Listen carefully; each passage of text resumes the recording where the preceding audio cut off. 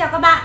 Chào mừng các bạn đã quay trở lại kênh trực tuyến Dược Dương Thư Group. Mình là Đan Thu, người sẽ đồng hành chia sẻ những thông tin bổ ích có lợi cho sức khỏe của các bạn.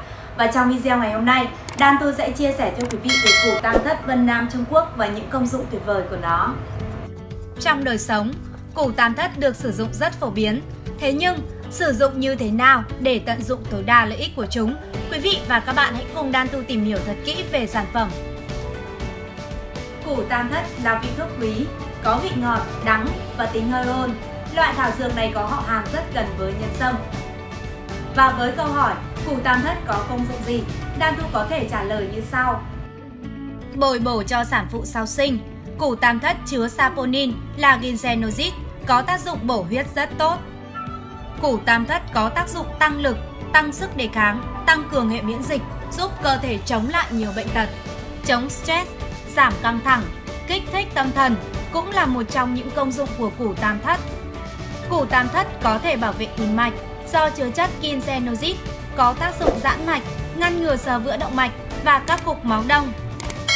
Củ tam thất có công dụng cầm máu, do đó khi bị chảy máu do chấn thương, người ta thường xay củ tam thất thành bột rồi rắc lên trên vết thương. Củ tam thất có thể dùng để hỗ trợ điều trị khối u và ung thư, do nó làm giảm sinh và tốc độ phát triển của khối u, hạn chế sự di căn của tế bào ung thư. Tăng cường sinh lý Củ tam thất có tác dụng tăng cường sinh lý hiệu quả cho phái mạnh. Mặc dù những công dụng của củ tam thất mang lại nhiều lợi ích đối với sức khỏe, tuy nhiên, khi sử dụng loại dược liệu này, quý vị cần đặc biệt lưu ý. Không được dùng củ tam thất khi bị tiêu chảy. Uống trà, ăn đậu đen, củ cải, đổ biển sau khi dùng củ tam thất sẽ làm mất hết tác dụng của củ tam thất vì chúng kỵ nhau.